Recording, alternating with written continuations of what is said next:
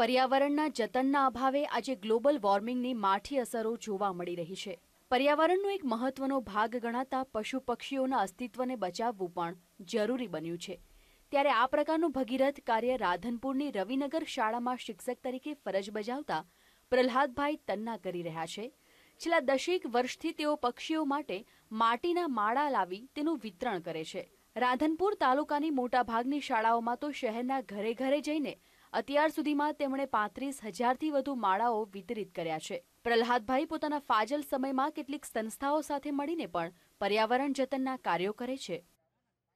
ટીવીની અંદર મારે જોવામાં આવ્યું કે રાજકોટની એક સંસ્થા સરસ કામ કરી રહી છે, પક્ષીના માળા, કુંડાનું. આ સરસ કામ થઈ રહ્યું હતું. એ મેં જોયું અને પછી તરત જ નિર્ણય કર્યો કે મારે પણ આ કરવું જોઈએ. તો છેલ્લા દસ વર્ષથી એમાં પાંચ વર્ષથી તો ઝુંબેશ રૂપે આપણે પાંત્રીસ હજારનું વિતરણ કરી શક્યા છીએ. પોતાના ઘરે પ્રહલાદભાઈએ પશુ પક્ષીઓ માટે ભોજન પાણીની વ્યવસ્થાઓ કરી છે. તેમણે ઘરમાં એક અલગ વિભાગ બનાવીને ત્યાં પક્ષીના માળા મૂક્યા છે, જેમાં અત્યાર સુધીમાં પંચોતેર જેટલી ચકલીઓ અને પિસ્તાળીસ જેટલી ખિસકોલીઓનો ઉછેર થયો છે. આજે પણ અહીં ઘણા પક્ષીઓ આશ્રય લઈ રહ્યા છે. પ્રહલાદભાઈના આ કાર્યમાં તેમનો પરિવાર પણ ખૂબ જ ઉત્સાહપૂર્વક સહકાર આપે છે. અત્યાર સુધીમાં છેલ્લા ત્રણ વર્ષની અંદર ઓછામાં ઓછી પંચોતેરથી એંસી ચકલીઓ મોટી થઈ. આખો વિભાગ જ છે એનો. કે એ વિભાગની અંદર બસ એ આનંદ પ્રમોદ અને સરસ મજાનું આપણે એવો વાતાવરણ એમને પૂરું પાડી આપ્યું છે કે એના અંદર સવારે પાણી પણ નિયમિત નાખવામાં આવે, એના ખોરાક માટેનો પણ વ્યવસ્થા કરેલી હોય. અને બાળ આપણે ચકલીઓને કે પક્ષીઓને જો એનું વાતાવરણ પૂરું પાડીએ તો એ સો ટકા એનું રિઝલ્ટ મળે છે આપણને.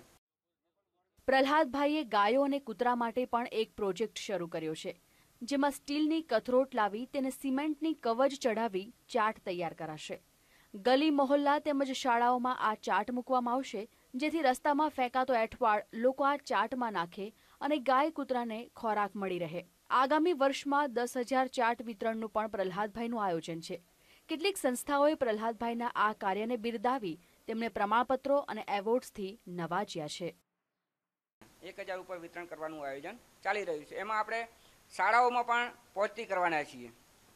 ચાલુ વર્ષે આપણે રાધનપુર તાલુકાની દરેક શાળાઓમાં મધ્યાહન ભોજન જે ચાલે છે, એના અંદર ટીપીઓ સાહેબને પણ મળવાનું થયું, મામલતદાર સાહેબને પણ મળવાનું થયું. એ લોકોનો પણ મને ખૂબ ઉત્સાહ અને આ પ્રોત્સાહન મળ્યું કે આ ખૂબ સરસ પ્રવૃત્તિ તમે કરી રહ્યા છો. તો આપણે દરેક શાળામાં પણ આપણે એક એક ચાર્ટ મૂકવાના છીએ. એક એક કુંડું, એક એક પ્લાસ્ટિક, પુઠ્ઠાનો, ચકલીઓનો માળો પછી માટીનો માળો એક એક ઘર સુધી એમણે ગામડામાં પહોંચતા કર્યા છે. અને લાખોની સંખ્યામાં. અને હમણાંથી એમણે કૂતરાને અને ગાયોની ચાટ બનાવવાનું પણ અભિયાન લીધું છે. જે ગઈ સાલ પણ એક હજાર ચાટ બનાવી હતી. આ સાલ પણ એમને એક હજાર ચાટનો પ્લાનિંગ છે. એટલે એમની સેવા તો કેવી છે કે એની કોઈ સીમા જ નહીં.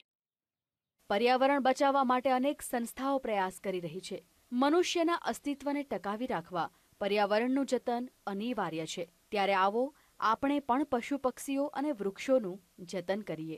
હસમુખ ડોડિયા વીટીવી પાટણ.